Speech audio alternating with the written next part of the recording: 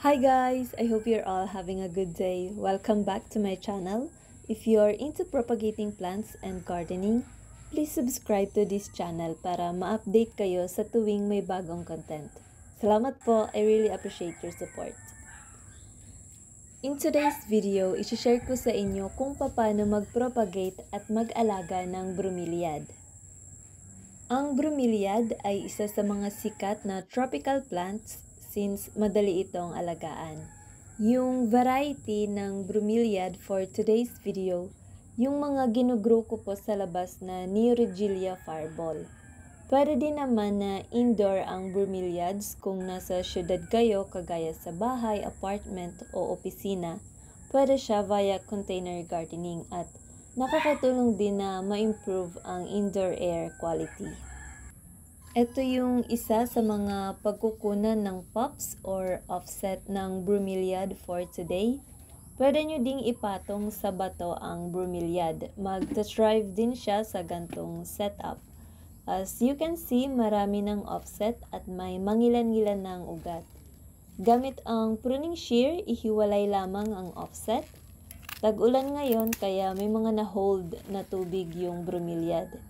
I suggest na itaob nyo yung offset pagkatapos maputol kasi baka may kasamang wrigglers o mosquito larva yung tubig na naipon sa bromeliad.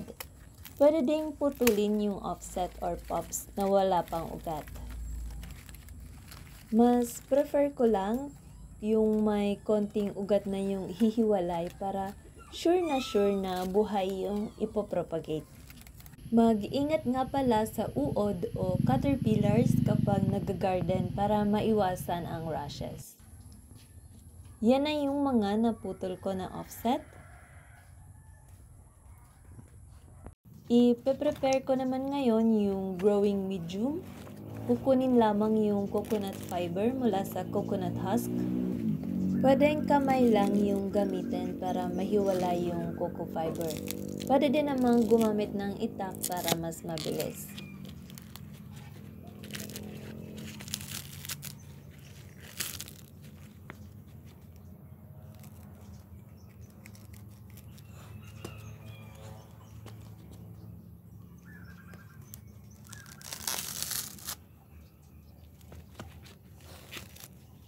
Kapag nakuha nyo na yung bunot, paghiwalayin ng konti yung fiber for aeration at para naman di masyadong compact yung material na gagamitin. Kailangan malambot siya kasi irarap yung material sa ugat mamaya. Yung natirang shell, medyo matigas siya kaya di advisable na gamiting pang wrap pero para di masayang, Pwede nyo itong gamitin pang border sa raised bed gardening or gawing coco chops para sa mga halaman or idagdag as brown material sa composting.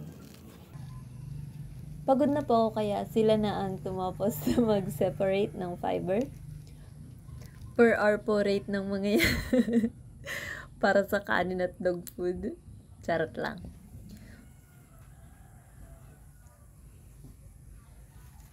Actually, nilalaro lang nila yung bunot. Kung may ma-ingest man sila, minimal amount lang yon. Nakakatulong din naman yung dietary fiber sa healthy digestive system.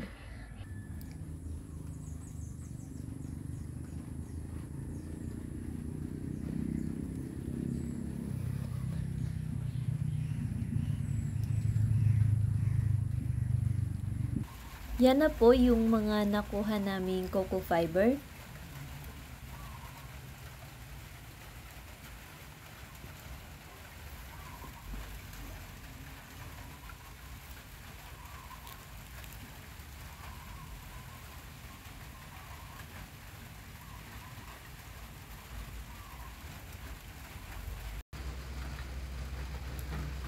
Ito na yung nakuhang offset kanina. Medyo malaki na nga siya at may konting ugat. Wait lang po at di na focus. Ayan. I-prepare ang tali at coconut fiber na gagamitin. Paghiwalayin hanggang sa maging medyo fluffy yung material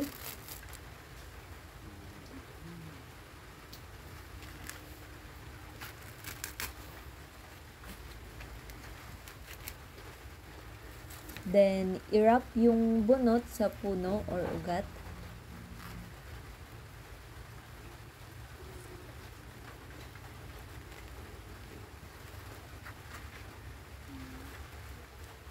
Ang Neurogelia fireball, yung gantong variety ng bromeliad, mas matingkad o reddish yung color kapag nabibilad sa araw. Pero kung mas prefer nyo yung greenish na foliage, ilagay nyo lang siya sa lugar na di masyadong naaarawan. Para ma-hold yung coco fiber, gumamit ng tali. Ginagamit ko lang po yung mga straw galing sa market. Pwede din naman ng mga ribbon mula sa packaging ng cake o pastries o kahit lumang stockings bilang pantali.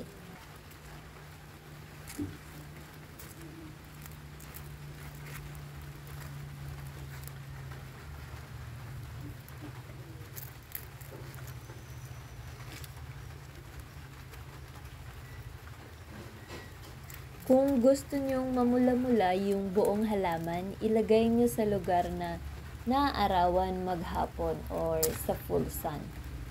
Personally, mas prefer ko na ginogrow sila outdoors. Letting time and nature do the rest of the work once na na-introduce sa isang lugar yung halaman. Kasi once na nakapag-acclimate na sila, napakadali na nilang lumago at magkaroon ng suwe o mag-thrive, kumbaga. Kailangan na lang i-check from time to time kung may peste. Dito po sa amin, snail ang karaniwang nangangain ng dahon ng bromeliads at saka kambing. Mahilig din ang kambing sa bromeliads kaya kung may kambing kayo, itali nyo sa mas mataas na lugar para di nila maabot. Or kung may bakod, much better.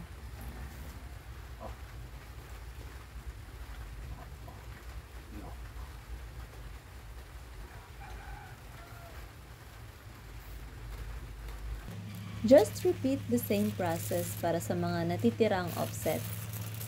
Nagtatrive ang bromeliad sa humid na lugar. Huwag nyo lang sobrahan sa dileg para di mabulok. Kung nasa indoor space, pwede nyong i-mist yung bunot o halaman once a week para naman di madry yung dahon.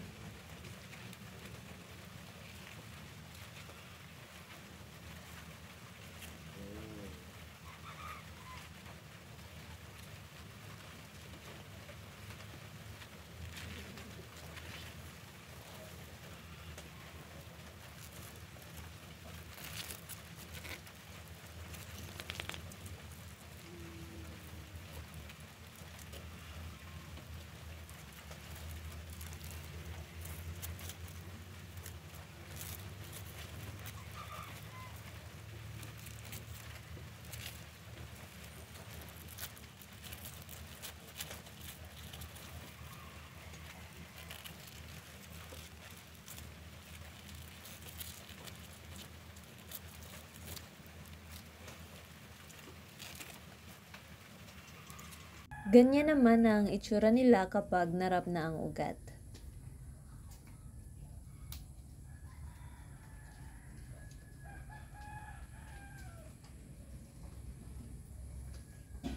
Pagkatapos, itali lang ang bromeliad o isingit sa sanga ng mga puno. Para di madaling liparin ng malakas na hangin tuwing may bagyo o para di madaling matangay ng kapitbahay o nakikiraan, itali nyo sa puno. It's more fun in the Philippines talaga guys. Naglalakad ang halaman. Charot lang. Kung nasa syudad kayo, pwede namang sa paso.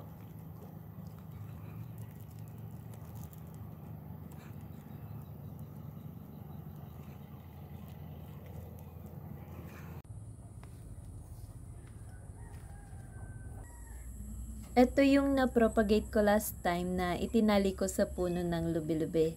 As you can see, may bago na ring baby or offset.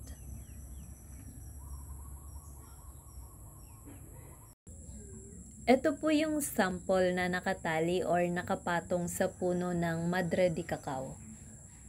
Mostly green yung color nila since maraming sanga at dahon mula sa puno ng niyog, lubi-lubi at madre de cacao na nakakaharang sa sinag ng araw.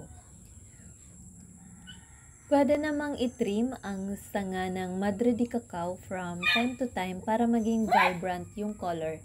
At yung naputol na sanga at dahon, pwedeng gamitin as fertilizer o i-add sa composting kaya walang sayang. Pag summer naman na grabe ang init, nakakatulong din yung dahon ng Madre de Cacao na makashade sa mga bromeliad para di masyadong masunog yung dahon. Pag tagulan, mas madaling yumabong ang mga sanga kaya mas madalas naman ang pagtrim. Mag-ingat lang sa mga uod kapag puputulin ng mga sanga. Pwede din siyang itali sa puno ng lube-lube dahil sa nakakapagbigay ng shade yung daw ng lube-lube, in return greenish yung bromeliad. Ito naman yung mga sample na medyo nabibilad sa araw since konti lang yung nakaka-shade sa kanila kaya medyo reddish yung upper part. That's it for today's video. Hopefully may na-share akong bago or na-entertain kayo ng video to. Please don't forget to like, share, or subscribe kung nagustuhan nyo. Maraming salamat! Have a great day everyone! Stay safe!